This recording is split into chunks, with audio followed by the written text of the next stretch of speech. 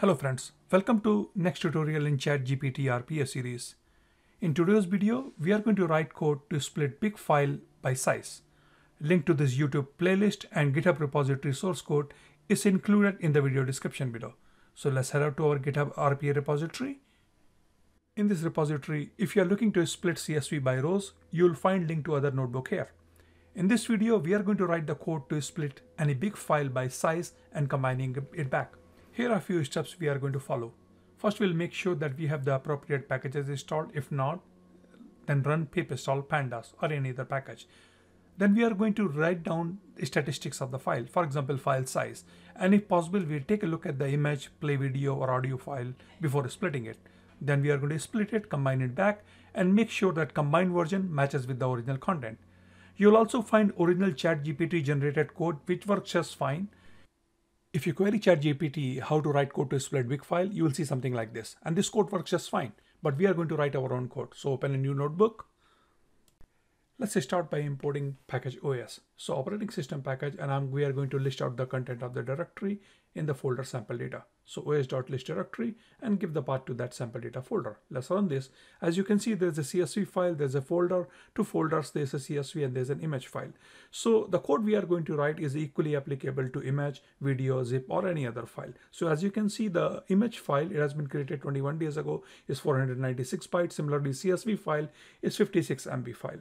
So this same code you can, you know, let's take a sneak peek uh, of the PNG file. And if you happen to have a video file, please make sure, you know, try to run it and make sure that it works. All right. So now once you do the uh, sanity check, let's go start writing the code to split that um, into equal chunk size. First thing what do you want to do chunk size. So for example, your file is 496 um, KB file. So you want to split in four different part of five different parts. So 1024 is actually the byte. So this is equal to 1 KB. So 496 bytes. Similarly, if you are trying to split sample data.csv file, you have to um, uh, make your chunk size a lot bigger.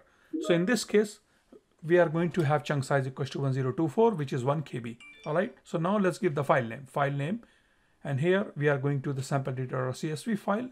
We'll come back and change it later in a minute. Let's import OS package because most of the file open functionalities are defined inside the OS package here. So import operating system and I'm going to open the file with open file name and I'm going to open this file as read binary. RB stands for read binary. So with open as in file and then I'm going to define a chunk count. So chunk count is actually, uh, so you are going to split the entire file in different chunk sizes. So let's go start with the chunk count equals to zero. And then we are going to slowly increment chunk counts one by one. All right, so chunk code equals to zero and we are going to initiate a while loop. Now inside that while loop, all you need to do, take that in file and read one chunk size at a time. So in file dot read chunk size, which is 1024 byte in this case. So we are going to read one chunk at a time and we are going to store this into the chunks. All right, so now all you need to do once you have the chunk ready, um, we are going to, because the, we are inside, still inside the while loop, so we need to break it out. Once, once the, all the chunks have been read, you need to get out. So if not chunk, we are going to uh, give a break. Uh, otherwise, we are just going to keep reading chunks into uh, one size, one chunk size at a time. All right. So while we are still inside this while loop, all the chunks have already been read. So now it's time to write those chunks. So I'm going to create another uh, file uh, dot part. So it's going to look like sample data.csv dot part zero. And I'm going to create this file as out file. And uh, as you can see, this is write WB. That means like write binary file. All you need to do out file dot write. And then at the end of it, just increment check count, um, chunk count uh, by one. All right. So it's pretty simple. Um, this code, again, is very intuitive code. If you have any problem, just feel free to open a defect and I'll be happy to work you out. Okay, all right, before I do that, I don't want to because I need to change the file name. So I'm going to copy this PNG file here and I'm going to replace it, you know, because I don't want to split my 56 MB CSV file here. So let's go change this to an image file here and again, if you want to split the 56, uh, please plan accordingly. Uh, take a look at the your file size which you're trying to break in, and then you equally you you know you try to you plan well that you know how many parts you want to break into that, and then you that's uh, then you accordingly you change the chunk size. All right, and keep in mind that 1025 uh, bytes equals to 1 KB. All right, so here what you're passing is as 1024 is the chunk size. So here let's go split this out. Okay, this code, as you can see, this was a very small file size and we just uh, split it accordingly. Let's go uh, quickly check our sample data folder here. As you can see, it has created one um, part file here. And the reason it created only one part because originally it was 496 bytes and we are trying to break it like in, in, in 1024, that means 1 KB. So you are breaking half KB file into 1 KB, which doesn't make sense. Uh, anyway, let's go try to combine it back. So with open and I'm going to pass the same file name here. Okay, and this time all I'm going to do, I'm going to take that part file and I'm going to read that part file and I'm going to generate as an out file here. So for example, so for i in the range chunk counts, that means read all the chunks which have been created and take the file name and read one file at a time and store those into one into individual chunks, combine those chunks and write it as an out file. All right, so again inside this for loop, all you need to do